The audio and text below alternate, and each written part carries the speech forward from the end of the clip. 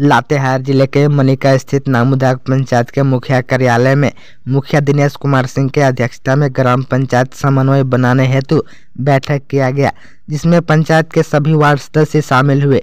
बैठक में मुखिया दिनेश कुमार सिंह ने कहा कि चुनाव के छह माह बीत जाने के बाद भी हम लोगों ने ग्राम पंचायत समन्वय समिति नहीं बनाया था, जिसे लेकर आज के बैठक में उपस्थित पंचायत के जनप्रतिनिधियों ने विचार विमर्श करते सभी वार्ड सदस्यों ने निर्णय लिया कि ग्राम पंचायत समिति का गठन किया जाए, जिसमें सभी वार्ड सदस्यों को विभिन्न प्रकार का भार दिया गया। मौके पर बालकेश यादव, अमलेश कुमार तुरी, सफीक अंसारी, पूर्व प्रमुख उमेश प्रसाद यादव सहित सैकड़ों लोग उपस्थित थे। पंचायत चुनाव हुए आज छः माह बीत गया, जो कि हम लोग ग्राम पंचायत समन्वय समिति का गठन नहीं किए थे।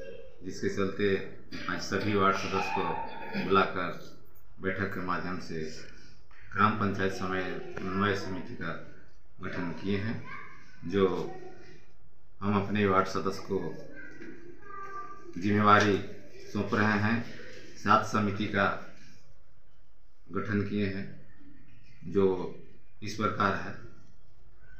योगेश्वर तुरी, शिक्षा विभाग एवं साक्षरता विभाग। शिवनाथ सिंह पेयजल एवं स्वच्छता विभाग। राजकमल सिंह, कृषि, पशुपालन एवं सहकारिता विभाग। रामजतन भूया ग्रामीण विकास विभाग।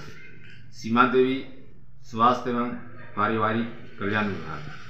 सबीना बीबी, जल संसाधन विकास एवं ऊर्जा विभाग।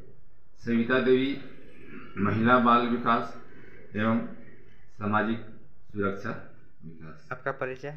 दिनेश कुमार सिंह नामदा